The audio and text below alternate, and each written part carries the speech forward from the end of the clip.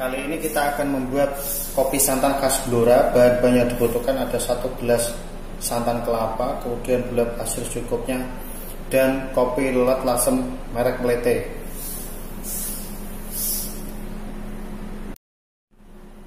Pertama-tama kita ambil dua sendok full kopi Melete, kopi lelat khas lasem yang bisa ditemukan uh, lewat online bisa pesan segini. Nah ini satu sendok. Nah ini dua sendok.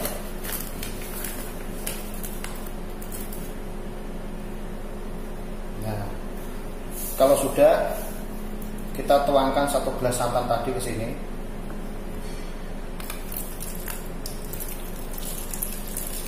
Seperti ini. Pelan-pelan aja biar gak tumpah. Selanjutnya kita aduk sebentar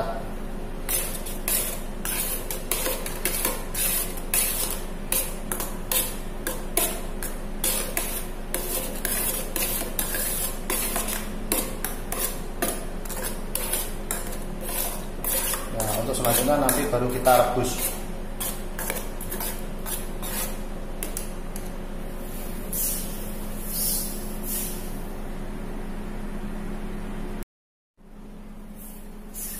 Selanjutnya kita rebus sampai mendidih. Sambil terus kita aduk-aduk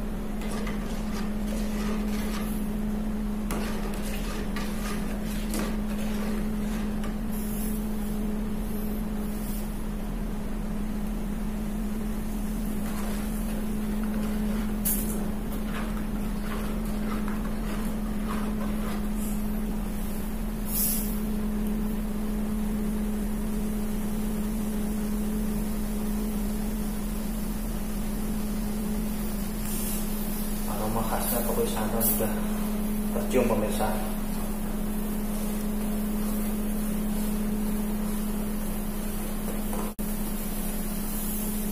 Kalau sudah mendidih kita matikan nanti kita angkat.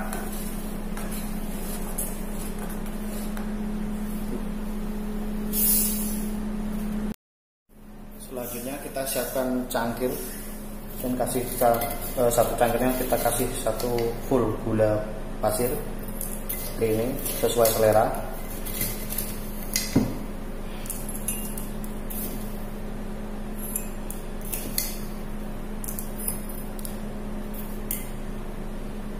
Singkirkan dulu. Selanjutnya kopi yang tadi kita kita tuang sini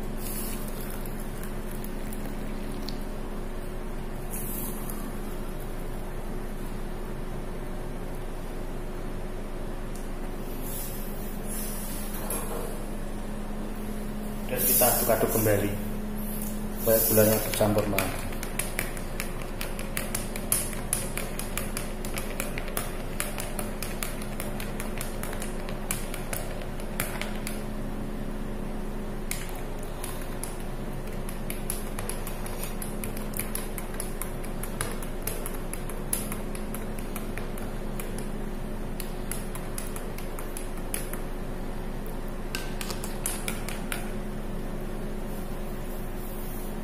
Tara, kopi santan khas Blora siap untuk dinikmati.